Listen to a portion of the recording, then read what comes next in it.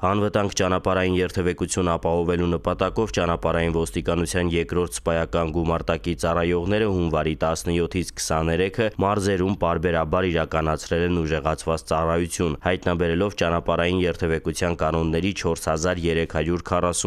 խախտում, պահպանվող հատուկ տարածքներ տեղափոխելով 42 տրանսպորտային միջոց։ Հայտնաբերվել է ոչ սթափ 64 առանց վարորդական իրավունքի վկայականի 5 անձ, 28 մեքենա շահագործվել է առանց ապահովության համապայմանագրի 29 թաղանթապատված դիմապակիով երկուսը առանց համարանիշերի 76-ի համարանիշերը փակցված են եղել ոչ սահմանված հատվածում։ Նման օրինակ ուժեղացված ծառայությունները պարբերական են։